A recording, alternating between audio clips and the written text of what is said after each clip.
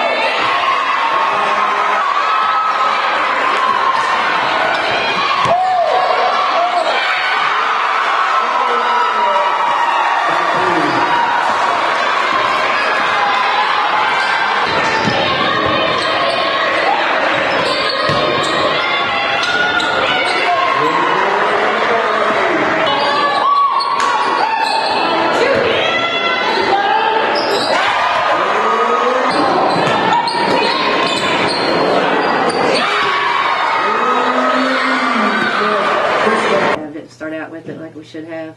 Um, we did get uh, a little nervous with the press. Uh, shouldn't have when we we did what we were supposed to do. We beat it, didn't didn't have trouble with it, but um, it was like inconsistent, you know. So uh, that that was a big part. But I think our energy on defense was what hurt us.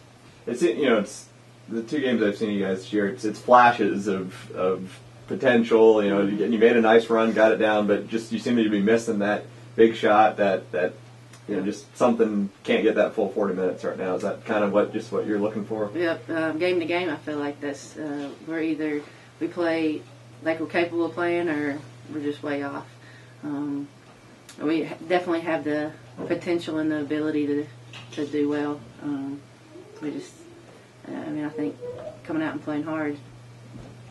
That's the bottom line of it right now.